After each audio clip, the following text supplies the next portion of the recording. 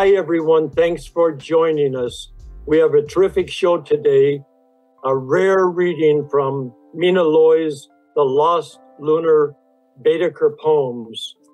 Mina Loy was born in 1882 in London and died in 1966 in Aspen, Colorado. She was a futurist, feminist, modernist. I quote this from Poetry Foundation. Mina Loy's poetry of 1914 to 1919 is distinguished by typographical fragmentations and collage structures learned from Apollinaire, Futurism, and Cubism, a distinctive, abstract, concrete diction that looks back to Jules Laforgue and forward to surrealism, and an unsentimental application of Whitmanesque sexual honesty to female experience. Loy's enduring theme is the necessity of honest vision as the eye, eye probes the shifting images of reality for self realization. Ezra Pound was one of Loy's strongest and most loyal champions. In his review of the 1917 Others anthology, Little Review, March 1918, he characterized her poetry as logopoeia, or poetry that is akin to nothing but language, which is a dance of the intelligence among words and ideas and modification of ideas and characters. Loy's poetry provides a map to the dreams offered up to the deity of love and imagination and it is not mere coincidence that lunar and lunatic share the same root. End of quote.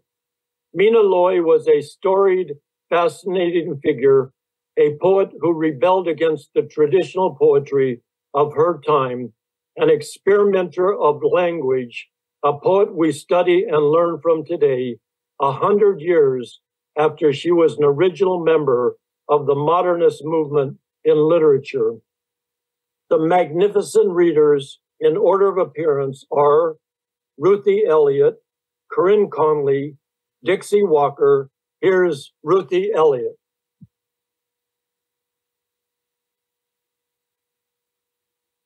There is no life or death, only activity, and in the absolute is no declivity. There is no love or lust, only propensity.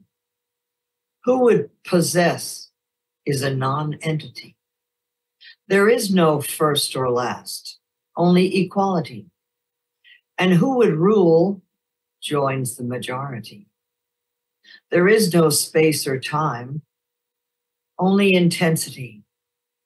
And tame things have no immensity.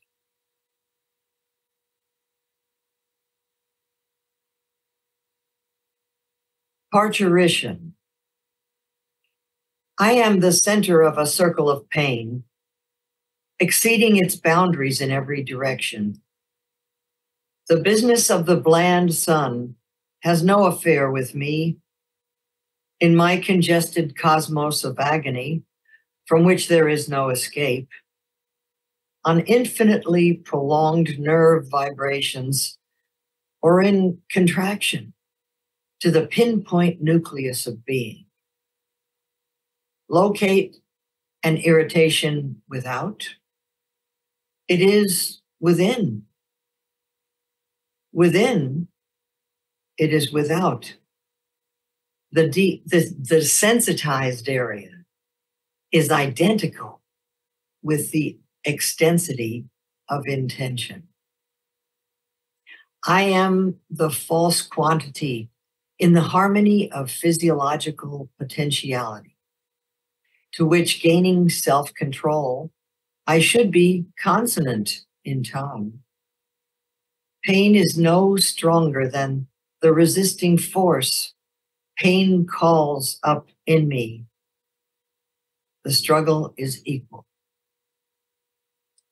The open window is full of a voice a fashionable portrait painter running upstairs to a woman's apartment, sings, All the girls are tiddly diddly, all the girls are nice, whether they wear their hair in curls or at the back of the thoughts to which I permit crystallization, the conception brute.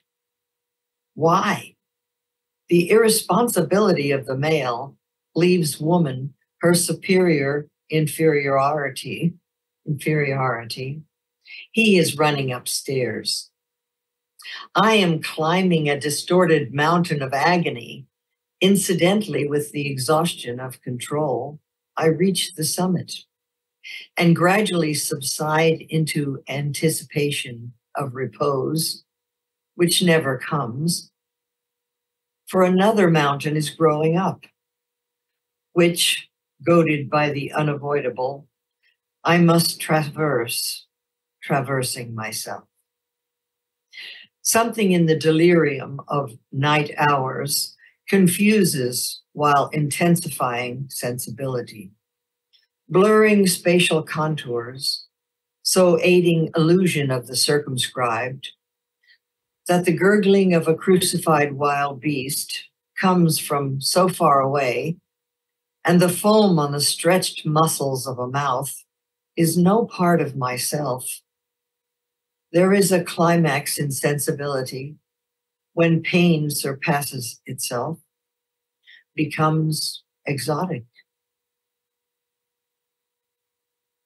And the ego succeeds in unifying the positive and negative poles of sensation, uniting the opposing and resisting forces in lascivious revelation, relaxation, negation of myself as a unit, vacuum interlude.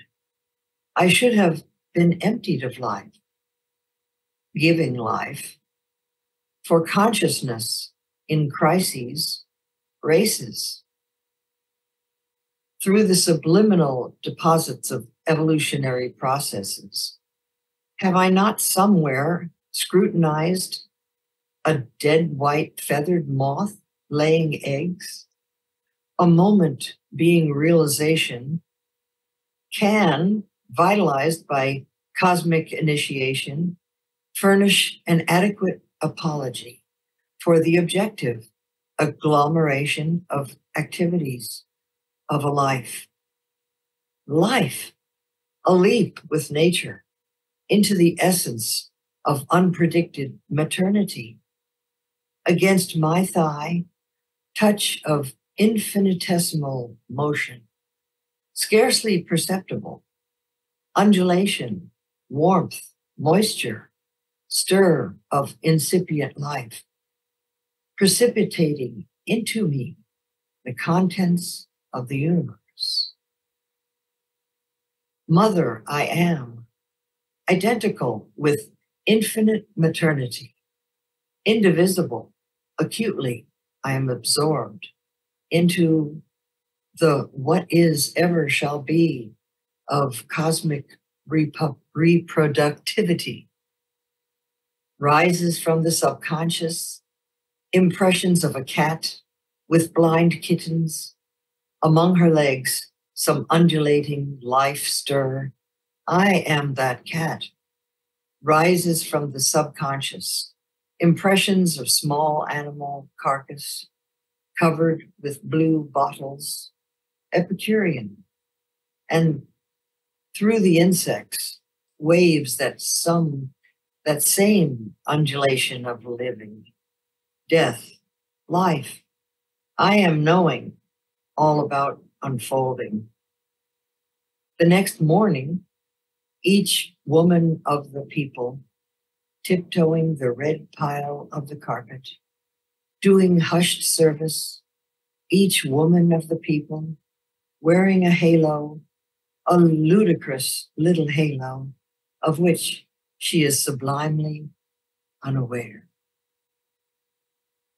I once heard in a church man and woman, God made them. Thank God. Human cylinders. The human cylinders revolving in the enervating dust of that wraps each closer in the mystery of singularity. Among the litter of a sunless afternoon, having eaten without tasting, talked without communion, and at least two of us loved of very little without seeking to know if our two miseries in the lucid rush together of automatons could form one opulent well being. Simplifications of men in the enervating dusk. Your indistinctness serves me the core of the kernel of you. When in the frenzied reaching out of intellect to intellect, leaning brow to brow, communicative over the abyss of the potential, concordance of respiration, shames, absence of corresponding between the verbal sensory and reciprocity of conception and expression, where each extrudes beyond the tangible, one thin, pale trail of speculation. From among us, we have sent out into the enervating dusk. One little whining beast whose longing is to slink back to antediluvian burrow, and one elastic tentacle of intuition to quiver among the stars. The impartiality of the absolute routs the polemic. Or which of us would not, receiving the Holy Ghost, catch it and caging, lose it? Or in the problematic, destroy the universe with a solution? Ignoramus. Shut it up. Sing silence. To destiny, give half a crown. To a magician, half a glance. To window eclipse. And count the glooms of your day's bargaining lying in the lining of your pocket while compromising between the perpendicular and horizontal some other tramp leans against the night nursery of trams. Puffs of black night quiver the neck of the clown of fortune, dribble out of his trouser ends. In dust to dust, till cock kingdom crow, till cock kingdom come crow, you can hear the heart beating a coupling of the masculine and feminine, universal principles, mating, and the martyrdom of mourning. Caged with the love of houseflies, the avidity of youth, and incommensuration, dayspring bursting on repetition. My friend the sun, you have probably met before or breakfasting on rain, you hurry to interpolate the overgrowth of vegetation with a walking stick, or smear a friend with a greasy residuum. From boiling your soul down, you can walk to Empyrean together under the same oil silk umbrella. I must have you count stars for me out of their numeral excess Please keep the brightest for the last.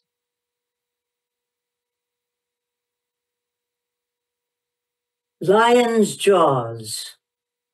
Oh, far away on the benign peninsular, that automatic fancier of lyrical birds, Danriel Gabrunzio, with melodious magnolia, perfumes his mise en scène where important neurotics wince at the dusk.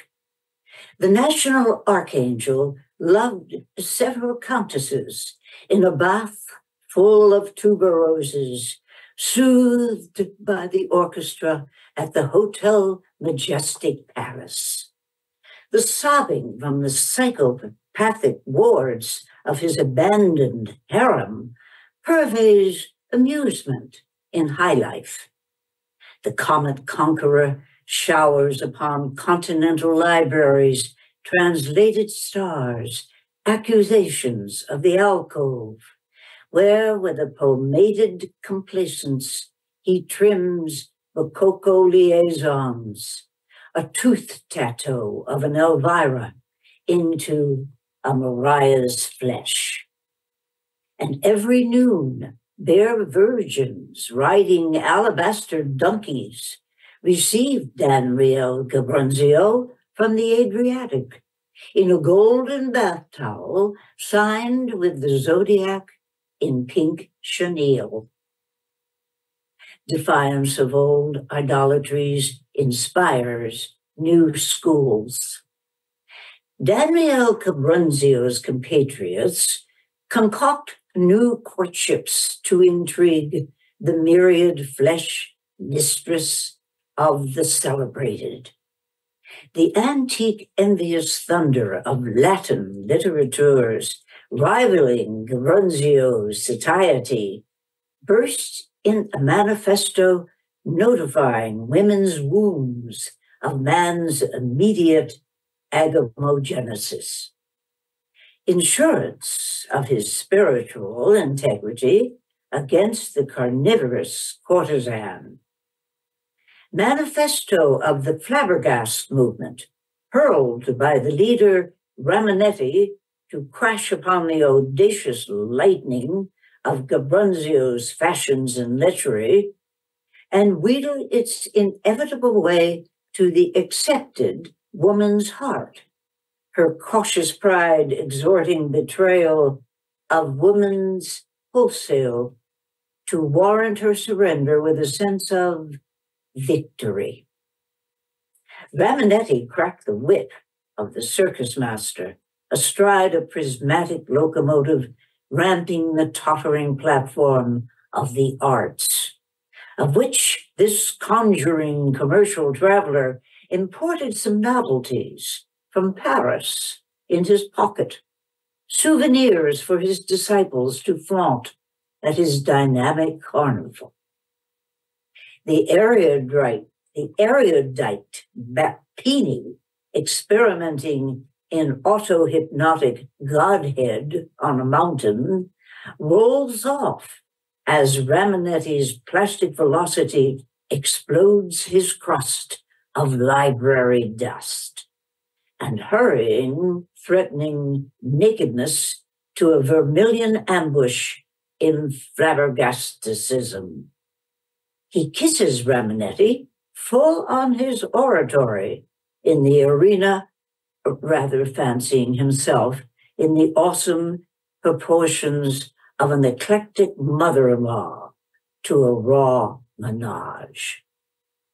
Thus, academically chaperoned, the flabbergasts blaze from obscurity to deny their creed in cozy corners to every feminine opportunity.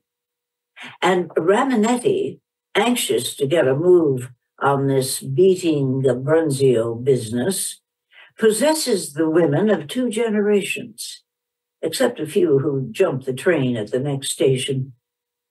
While the competitive Bapini publishes a pretty comment involving woman in the plumber's art and advertises his ugliness as an excellent aphrodisiac. Shall maneuvers in the new manner pass unremarked?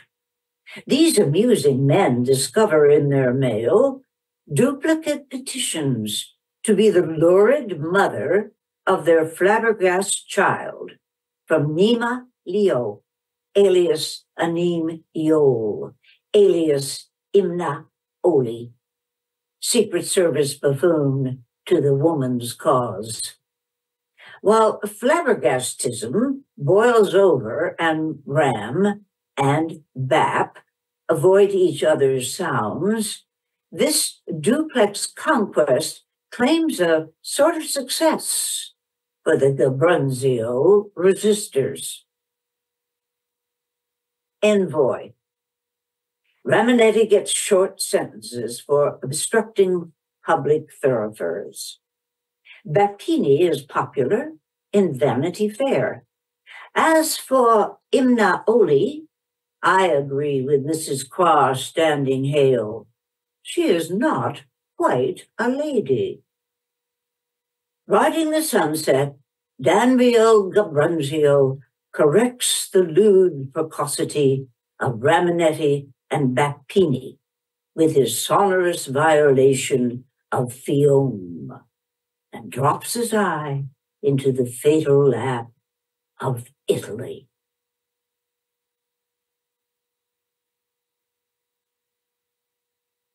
The dead. We have flowed out of ourselves beginning on the outside, that shrivelable skin where you leave off of infinite elastic, walking the ceiling, our eyelashes polish stars. Curled close in the youngest corpuscle of a descendant, we spit up our passions in our grand dams. Fixing the extension of your reactions, our shadow lengthens in your fear. You are so old, born in our immortality, stuck fast as life in one impalpable, omniprevalent dimension. We are turned inside out. Your cities lie digesting in our stomachs. Street lights footle in our ocular darkness, having swallowed your irate hungers satisfied before bread breaking, to your dissolution we splinter into holes, stirring the remorses of your tomorrow among the refuse of your unborn centuries. In our busy ashbins stink the melodies of your so easily reducible adolescences our tissue is of that which escapes you birth breaths and orgasms, the shattering tremor of the static, the far shore of an instant, the unsurpassable openness of the circle, legerdemain of God. Only in the segregated angles of lunatic asylums do those who have strained to exceeding themselves break on our edgeless contours.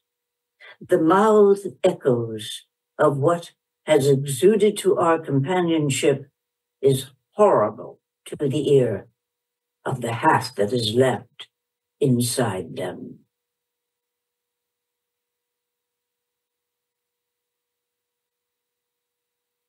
Mexican desert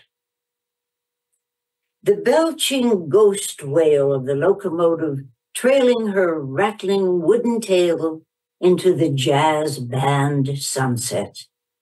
The mountains in a row set pinnacles of ferocious isolation under the alien hot heaven. Vegetable cripples of drought thrust up the parching appeal, cracking open the earth stump fingered cacti and hunchback palm trees belabor the cinders of twilight.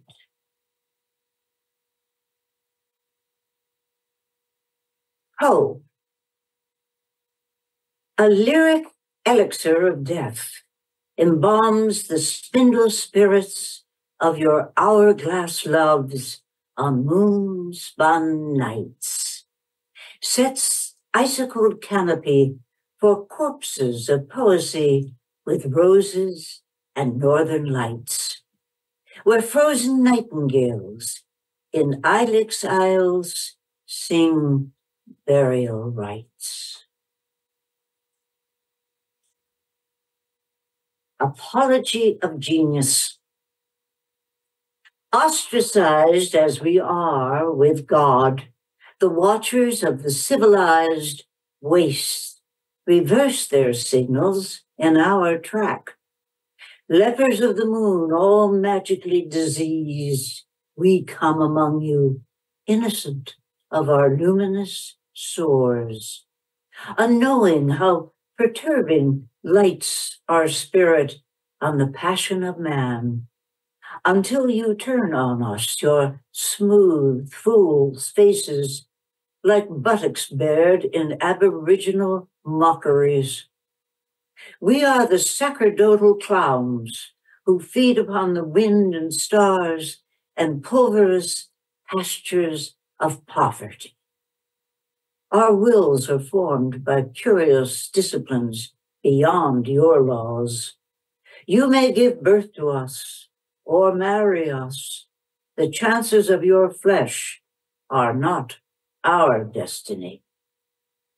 The caress of the soul still shines, and we are unaware if you confuse such brief corrosion with possession.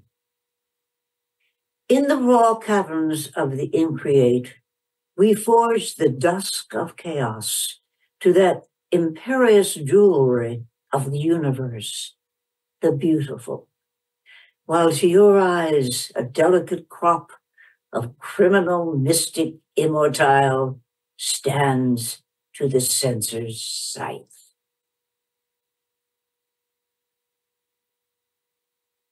Brancusi's Golden Bird.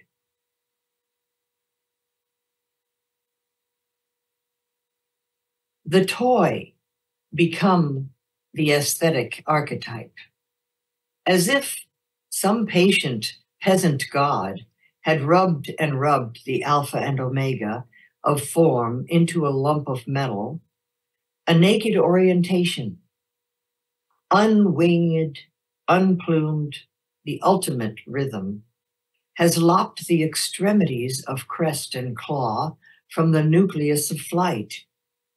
The absolute act of art, conformed to continent sculpture, bare as the brow of Osiris, this breast of revelation, an incandescent curve, licked by chromatic flames in labyrinths of reflections, this gong of polished hyper aesthesia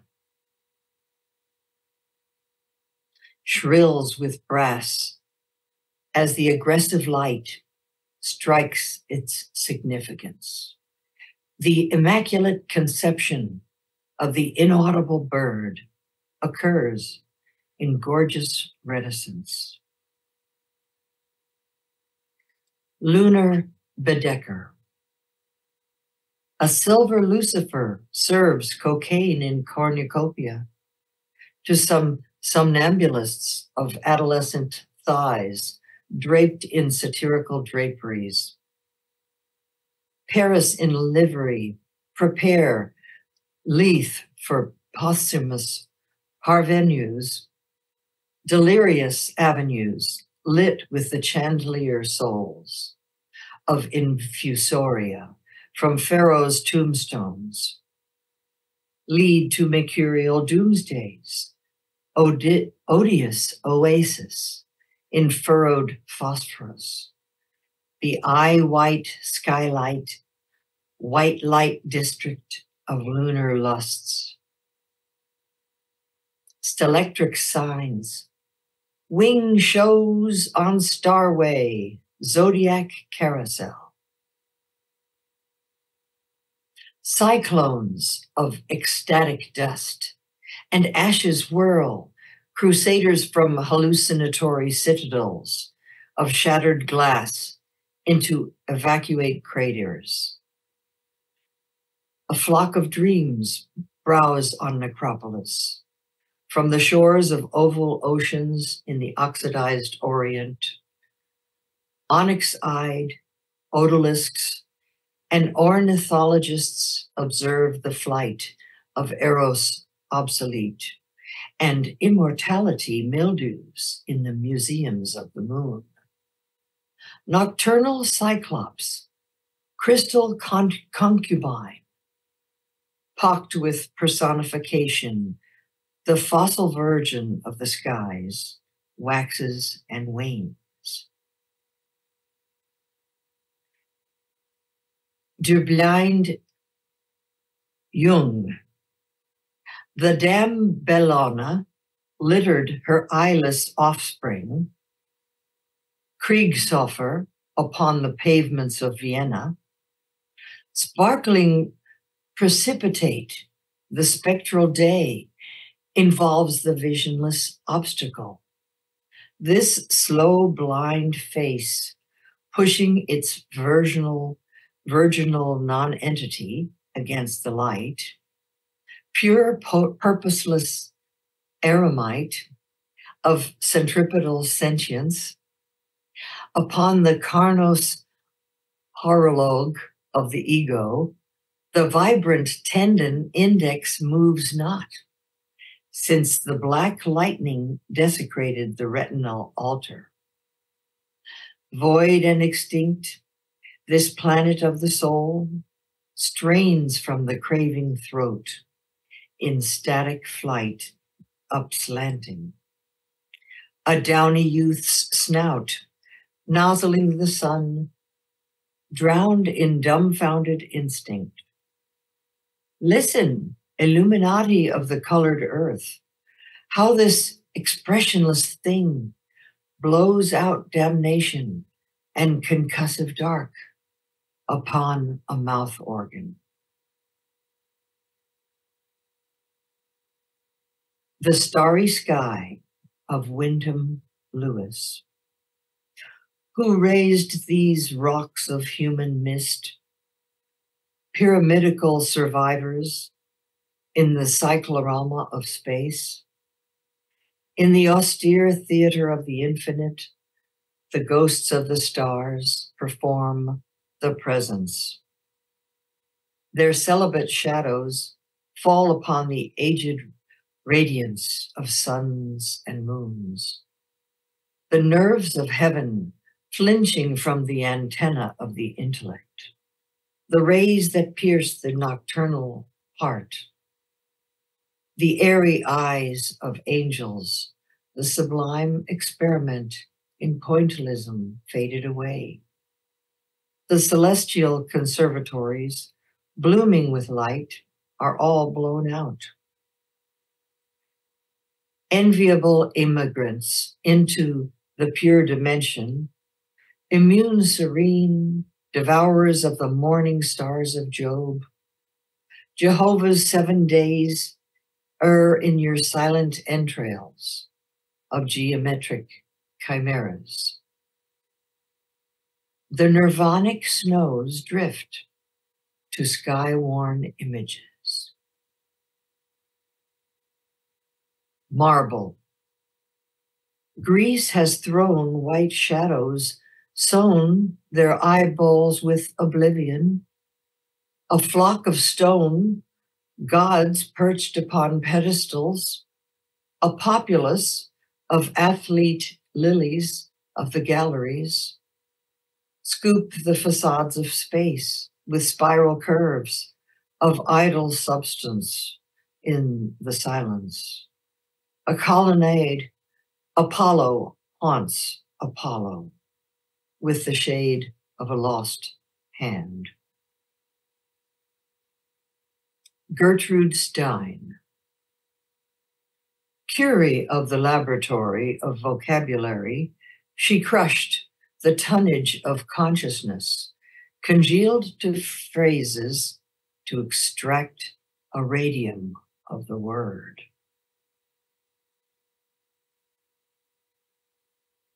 Letters of the unliving. The present implies presence, thus unauthorized by present. These letters are left authorless. The lost all origin, since having inscribed, the inscribing hand lost life.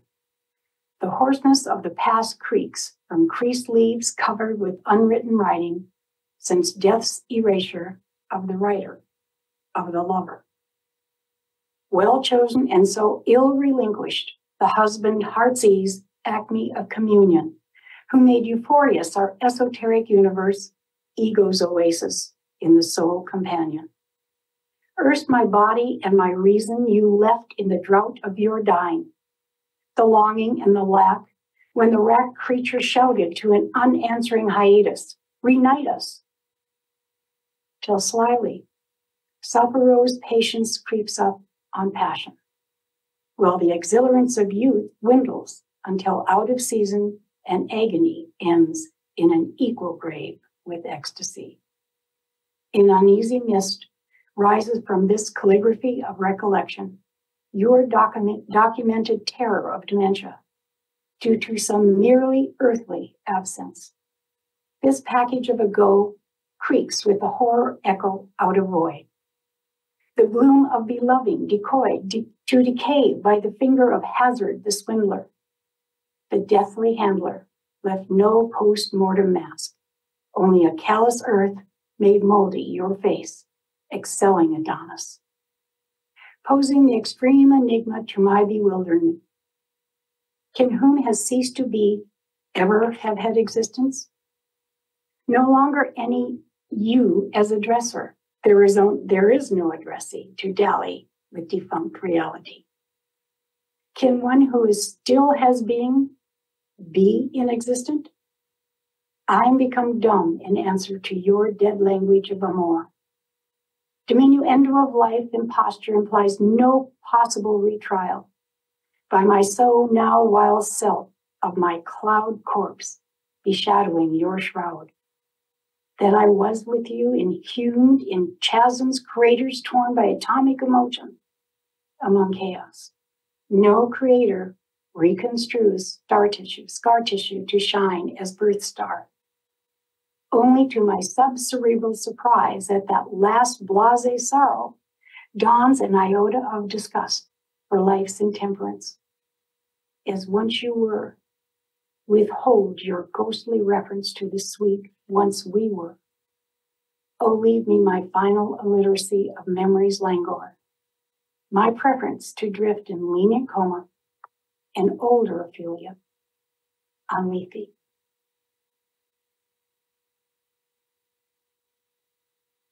An aged woman.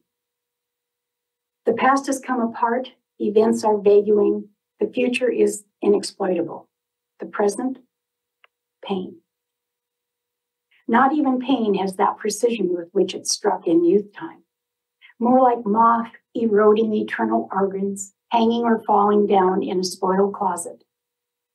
Does your mirror bedevil you, or is the impossible possible in senility, enabling the erstwhile agile, narrow silhouette of self to hold in huge reserve this excessive incognito of a bulbous stranger, only to be exorcised by death? Dilation has entirely eliminated your long reality. Aphorisms on futurism. Die in the past, live in the future. The velocity of velocities arrives in starting, in pressing the material to derive its essence, matter becomes deformed and form hurtling against itself is thrown beyond the synopsis of vision. The straight line and the circle are the parents of design, form the basis of art. There is no limit to their coherent variability. Love the hideous in order to find the sublime core of it. Open your arms to the dilapidated to rehabilitate them. You prefer to observe the past on which your eyes are already opened but the future is only dark from the outside. Leap into it, and it explodes with light. Forget that you live in houses, that you may live in yourself. For the smallest people live in the greatest houses, but the smallest person potentially is as great as the universe. What can you know of expansion who limit yourselves to compromise? Hitherto, the great man has achieved greatness by keeping the people small. But in the future, by inspiring the people to expand to their fullest capacity, the great man proportionately must be tremendous, a god. Love of others is the appreciation of oneself. May your egoism be so gigantic that you comprise mankind in your self sympathy. The future is limitless, the past a trail of insidious reactions. Life is only limited by our prejudices. Destroy them, and you cease to be at the mercy of yourself. Time is the dispersion of intensiveness. The futurist can live a thousand years in one poem. He can comprise every aesthetic principle in one line. The mind of a magician, bound by assimilations, let him loose, and the smallest idea conceived in freedom will suffice to negate the wisdom of all forefathers. Looking on the past, you arrive at yes, but before you can act upon it, you've already arrived at no. The futurist must leap from affirmation to affirmation, ignoring intermittent negations, must spring from stepping stone to stone of created explorations without slipping back into the turbid stream of accepted facts. There are no expressions of uh, the absolute to which man may pin his faith. Today is the crisis in consciousness. Consciousness cannot spontaneously accept or reject new forms as offered by creative genius. It is the new form, for however great a period of time it may remain a mere irritant, that molds consciousness to the necessary amplitude for holding it. Consciousness has no climax. Let the universe flow into your consciousness. There is no limit to its capacity, nothing that it shall not recreate. Unscrew your capability of absorption and grasp the elements of life whole. Misery is in the disintegration of joy, intellect of institution, intuition, acceptance of inspiration. Cease to build up your personality with the ejections of irrelevant minds not to be a cipher in your ambient, but to color your ambient with your preferences. Not to accept experience at its face value, but to readjust activity to the peculiarity of your will. These are the primary tentatives toward independence. Man is only a slave to his own mental lethargy. You cannot restrict the mind's capacity. Therefore, you stand not only in abject servitude to your perceptive conscious, but also to the mechanical reactions of the subconscious, that rubbish heap of race tradition. And believing yourself free, your least conception is colored by the pigment of retrograde superstition. Here are the fallow lands of mental spatiality that futurism will clear. Making place for whatever you have, you're brave enough, beautiful enough, to draw out of the realized self. To your blushing, we shout the obscenities. We scream the blasphemies that you, being weak, whisper alone in the dark. They are empty except of your shame. And so these sounds shall dissolve back to their innate senselessness.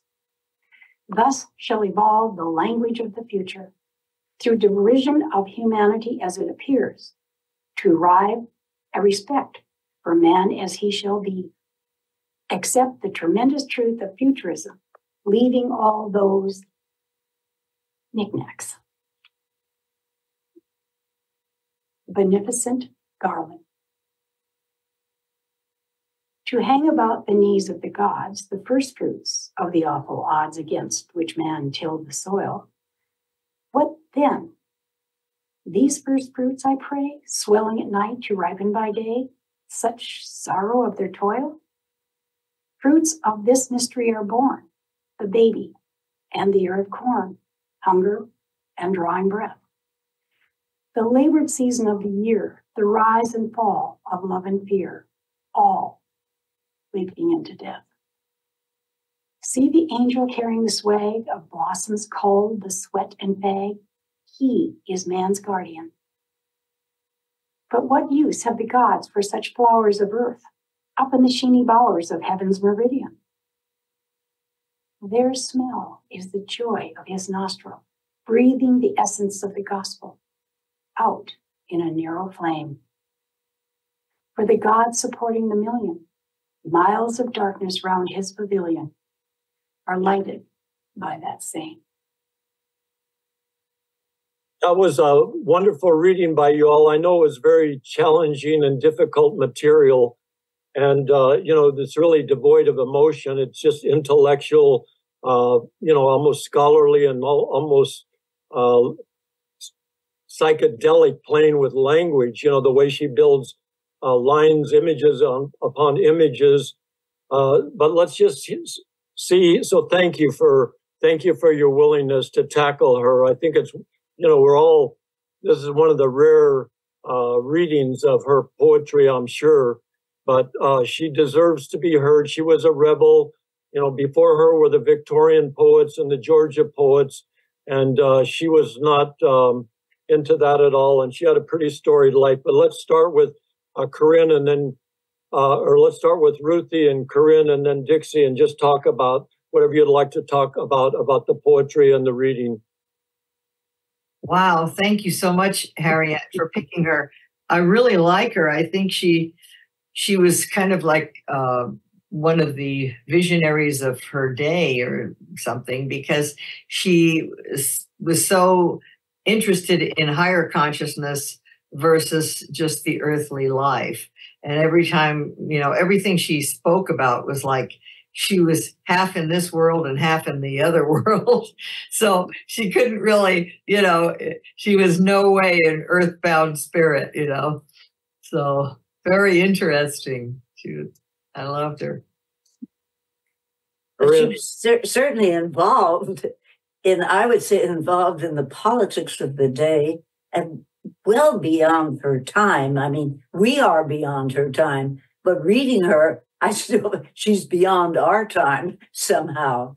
Uh, she is, uh, well, of course, very much an intellectual. And uh, she's also, she was also a painter.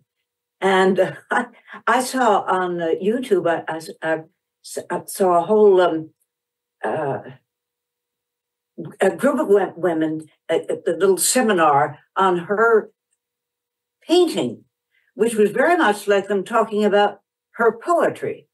It, once again, it was uh, avant garde and uh, intellectual, and um, uh, uh, they thought there should be a revival of her interest in her artwork as well as her poetry. Uh, she so she certainly is still reaching out to people today with her feminist manifesto and what have you uh, one thing that Dixie read, and uh, welcome Dixie to our. I would say it was a difficult poet to start. Great to introduction on your first uh, uh, poetry show, but I love what uh, Dixie said about um, Gertrude Stein, that she chose the radium of a word I thought that was so perfect because you know how she just uh, just had you know there was no description or anything, just words, the radium of a word. So I really love that. Dixie, I agree with what everybody said. However, I found her that she had a lot of emotion, a lot of emotion. that was anger and sorrow and I don't think she ever got over her second husband's death. Well, he also, I believe, disappeared on her. Uh, she, a lot of what I'm reading there is, is I could never figure out if, if it was more depression or anger.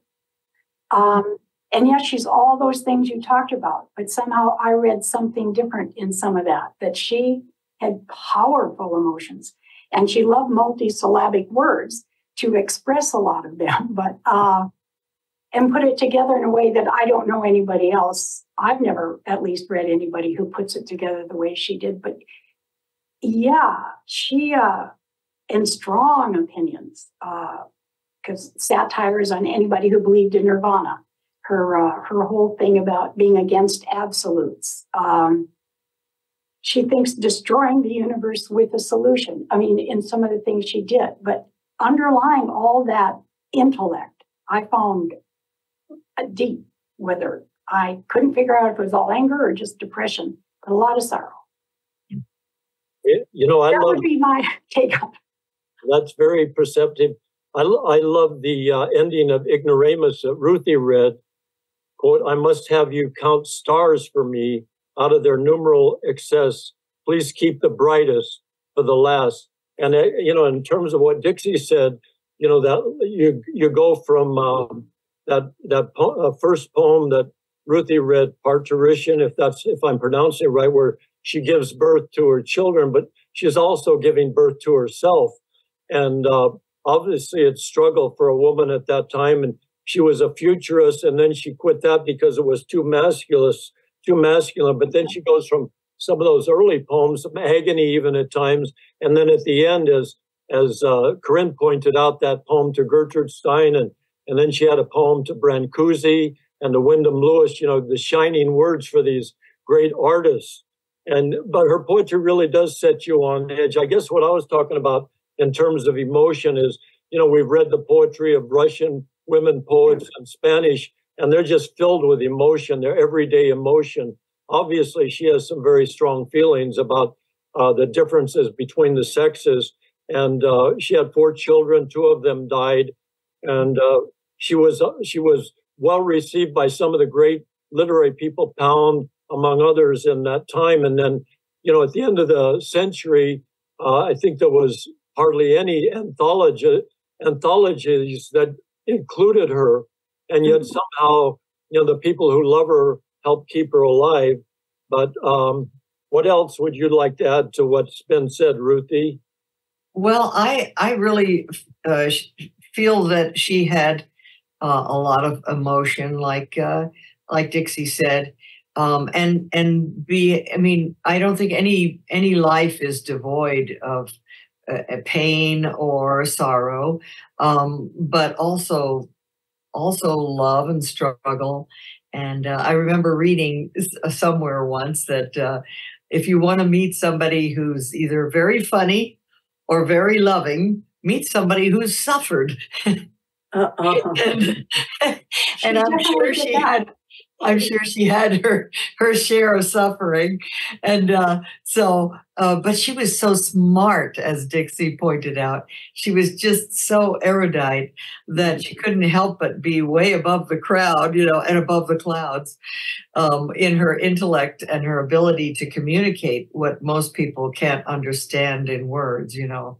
But she certainly tried, and she she reached for the you know heavens that way. So I think she was trying to reach above her suffering through intellectually rising above it, you know. Corinne, anything you would like to add? Well, I, I was just interesting to uh, to hear the, the, the Dixie and uh, Ruthie talk about her because um, I have found her so intellect, just her uh, her um, vocabulary uh, I've found her so intellectually advanced or, uh, uh, that I, um, I, I found it hard to find to get to the emotion behind what she was saying. but obviously, she got to them, and they uh, uh she reached them. They saw that. I thought it was amazing that she, at her time, she seems like such a nouveau feminist of the moment now in reading it, in reading her stuff.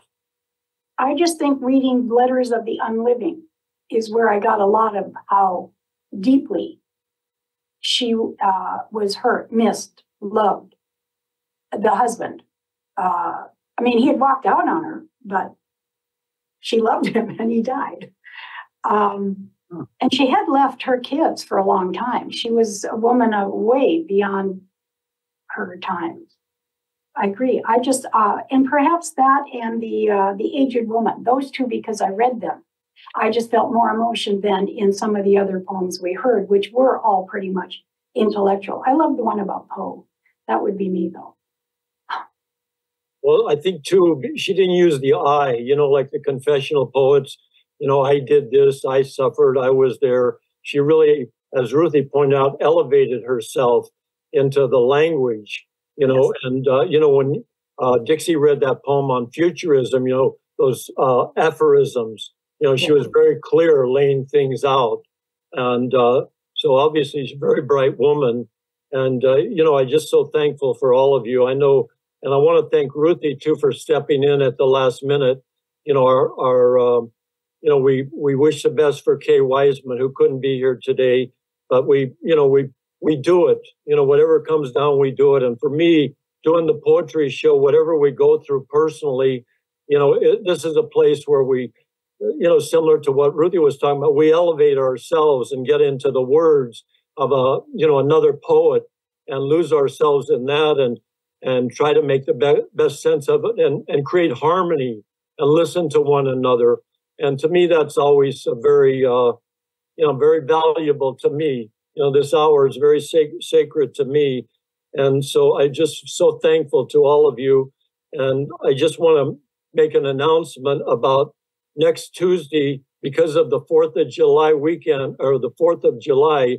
That week, there will be no uh, Tuesday poetry reading, but the next show will be on Tuesday, July 9th with two terrific poets, Joe Safdie and Diane Souza. Joe is, uh, lives in Oregon and Diane Souza lives in Central California. She is a surfer and she writes about that among many other things. But uh, thank you all. You all did just such a beautiful job. I'm so thankful, and I I just appreciate you so much. I can never tell you how much. But thank you. And here's Jennifer Clymer. Thank you, Harry. Thank you, Harry. And thank you all for making this such a wonderful hour. Um, I don't know that we were able to get to this. One of the audience members had a question. Hmm. Is it okay if I if I put that to everybody, Harry? Yes, absolutely. Great. Uh, Peter Cook had written and wanted to know how many of you are poets in your own right. How many? Well, I've written poetry and had a couple published, so I don't know if that co- that means I'm a poet. That counts. If you Okay. consider songs poetry, and I've written quite a few. Absolutely, that counts. Corinne, I know you Uh, do not since college. Not since college, when I uh, used to. I think I wrote some witty little couplets, but uh, I really can't say I've uh, uh, written poetry. Okay, wonderful. Well, Peter, thank you for tuning in. And uh, once again, Harry, thank you for providing us with this incredible sacred space. We all very much appreciate it. We will see you in two weeks. Enjoy your 4th of July, guys.